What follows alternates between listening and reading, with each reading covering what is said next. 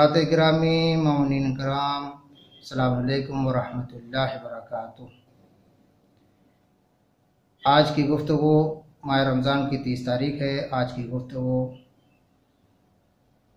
इन ईदालफ़ितर के फजीलत के सिलसिले में होगी।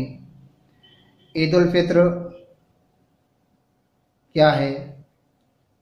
ईद फितर सिलसिले में बयान हुआ है कि मुसलमान रमज़ान मुबारक के महीने के बाद एक मजहबी खुशी का त्यौहार मनाते हैं, जिसे ईद फितर कहा जाता है।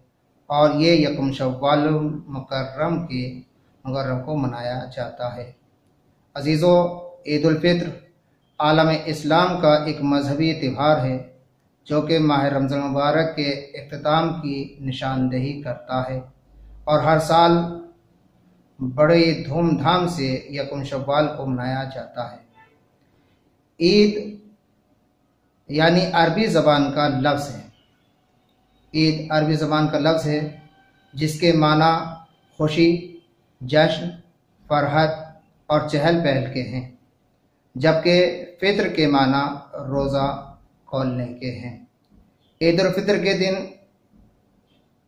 रोज़ों का सिलसिला ख़त्म हो जाता है।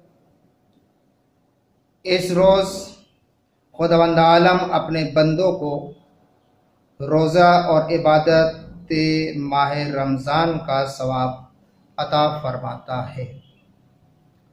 जैसा कि फजीलत ईदालफ़ितर के सिलसिले में गुफ्तु होना है, वही उसी के सिलसिले में हज़रत मोहम्मद मुस्तफ़ा सल्लल्लाहु अलैहि वसल्लम इरशाद फरमाते हैं कि जब ईद फित्र का दिन होता है तो खुदवंद आलम इन बंदों से अपने फरिश्तों पर फ़ख्र मुबाहत करता, करते हुए फरमाता है, ए मेरे आसमान के रहमान के रहने वाली मखलूक, है मेरे फरिश्तों, बताओ कि इस मजदूर की उजरत क्या होती है, जो अपना काम पूरा कर चुका हो? तो फरिश्ते अर्ज़ करते हैं कि, इलाही इसकी उजरत यह है कि इसे पूरा पूरा अज्र दिया जाए। तो खुदवंद आलम इशाद फरमाता है कि ए मेरे फरिश्तों, मेरे बंदों ने मेरा वो फरीज़ा पूरा कर दिया है जो इन पर फ़र्ज़ था। फिर वो दुआ में दस्ते तलब बुलंद करते हैं। तो खुदावंद आलम इर्शाद फरमाता है कि मुझे अपनी इज़्ज़त, अपने जमाल, अपनी बुलंदी की कसम है कि मैं इनकी दुआ, इनकी दुआओं को कबूल करूँगा। और फरमाता है कि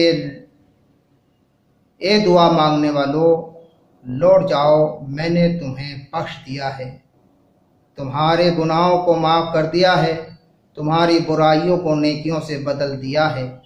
और इसी तरह बंदा अपने परवरदिगार के करीब हो जाता है और अहल बैत सलाम के सदक़े में जब ये दुआ की जाती है तो दुआ कबूलियत तक पहुँचती है और कबूल होने के बाद हमको उसका अजर मिलता है, उसका इनाम मिलता है और वो, जैसे कि माह रमज़ान में इंसान पूरा रोज़ा, यानी पूरे माह के रोज़े रखने के बाद जब आखिरी उसमें आता है तो अल्लाह ईद के इनाम के सिलसिले में, ईद के तोहफ़ा के सिलसिले में उसको ईद मनाने की तोफ़ी अता फरमाता है।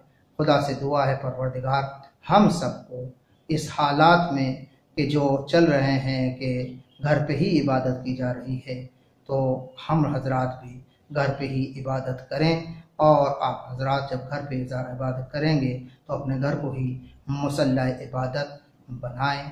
और अल्लाह की बारगाह में दुआ करें। खुदा आलम सबको ईद की मुबारकबाद मुबारकबाद पेश करते हैं।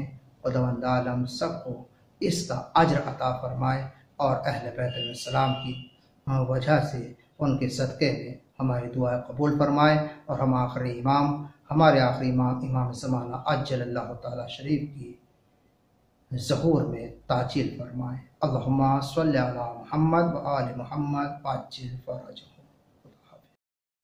ला इलाहा illallah La ilaha illallah